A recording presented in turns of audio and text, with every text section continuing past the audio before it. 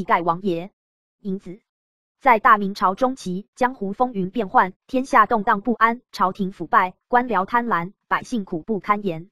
在这乱世之中，有一位名不见经传的乞丐，却成为了左右天下命运的重要人物。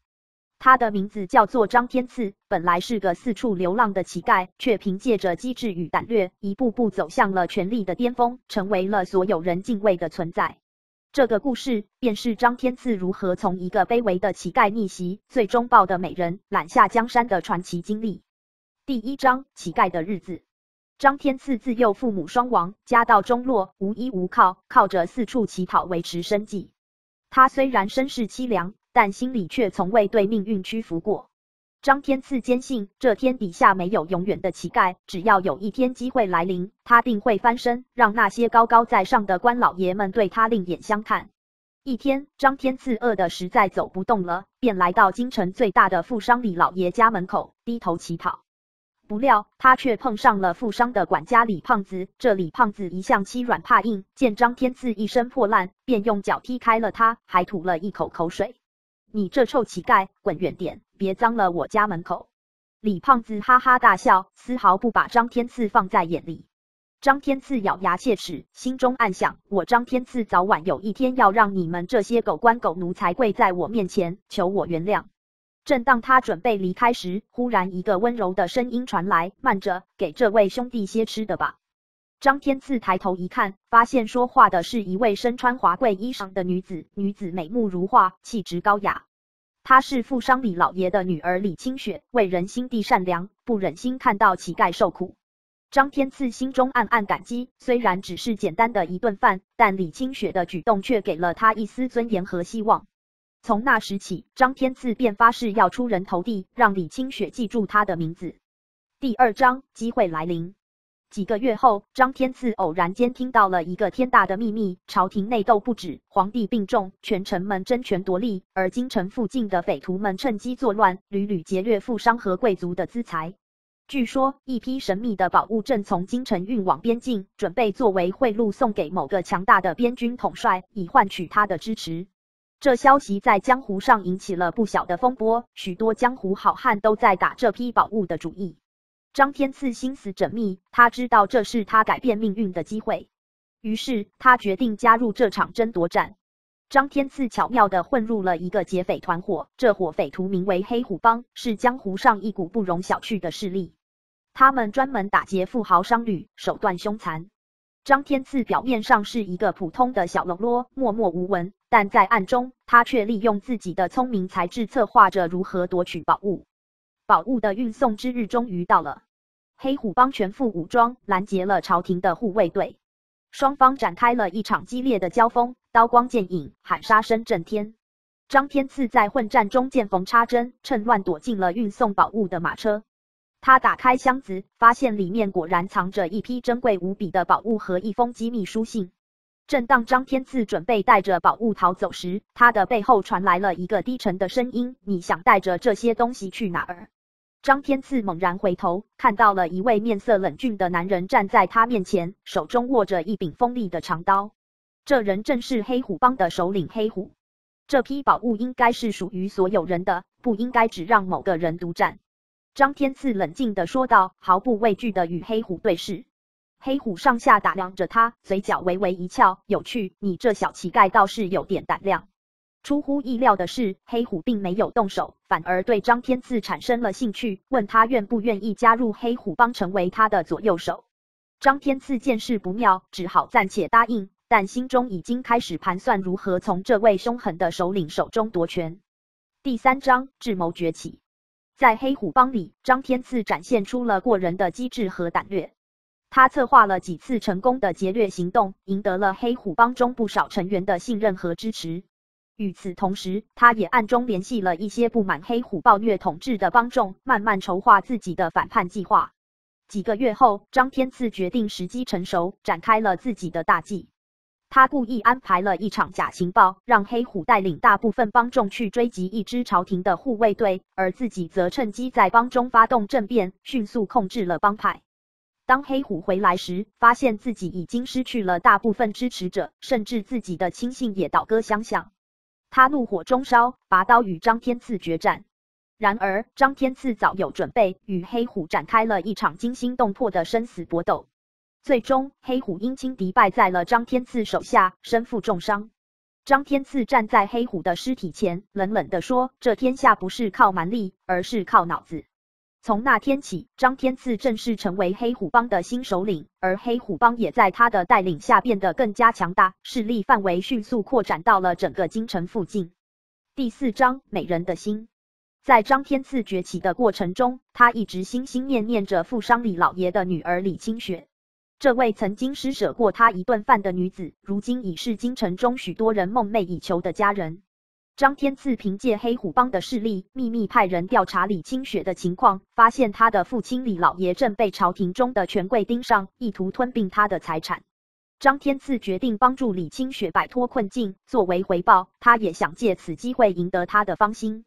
一晚，张天赐带领黑虎帮的一众手下，悄悄潜入李家府邸。当他看到李清雪时，他已经被朝廷的走狗软禁。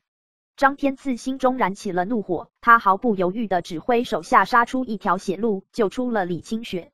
你是那个乞丐？李清雪惊讶地看着张天赐，眼中充满了不可置信。张天赐笑了笑，点了点头：“是我，李小姐。曾经那个在你门前讨饭的乞丐，现在已经不再是当年的我了。”如今我张天赐有能力保护你，不让任何人再欺负你。李清雪听到这话，心中五味杂陈。他从没想到，那个曾经穷困潦倒的乞丐，如今已经成为了江湖上声名远播的黑虎帮首领。而更让他意外的是，张天赐居然冒着危险来救他。你为什么要帮我？李清雪问道，目光中透着些许困惑和感动。张天赐深吸一口气，平静地说：“因为你是这个世上唯一一个在我最落魄的时候愿意伸出援手的人。你的一点点善意，对我而言比千金万银更为珍贵。”李清雪怔住了，回想起当时的情景，那只是他无心的一个善举，却没想到成为了张天赐人生中的转折点。他突然觉得，眼前的张天赐不再只是那个过去的乞丐，而是一个有担当、有情义的男人。我感激你救了我，但现在你站在这条路上会很危险。李清雪语气中带着担忧。危险？在这乱世中，谁不是活在危险里？我不怕这些人，朝廷也好，江湖也罢，他们的阴谋诡计都奈何不了我。张天赐眼神坚定，带着一股无惧无畏的气势。李清雪被张天赐的气魄所感染，心中也燃起了希望之火。他看着眼前这个为了保护他而不顾生死的男人，心中的感情悄然发生了变化。他不再把他当成一个无名小卒，而是一个值得托付的英雄。第五章，步步为营。救出李清雪后，张天赐并未急于行动，而是谋定而后动。他知道，虽然自己已经掌控了黑虎帮，但要对抗朝廷的权贵，仍需要更周密的计划和更强大的力量。张天赐首先向江湖中的其他帮派伸出了联合的橄榄枝。他凭借黑虎帮的实力以及自身的智慧，迅速在江湖中赢得了一批忠诚的盟友。这些盟友既有如狼似虎的武林好汉，也有见多识广的谋士。他们的加入使得张天赐的势力如日中天。同时，张天赐也加强了对朝廷的情报网络，通过暗中操控一些贪官和京城富商，逐渐掌握了朝廷内部的动向。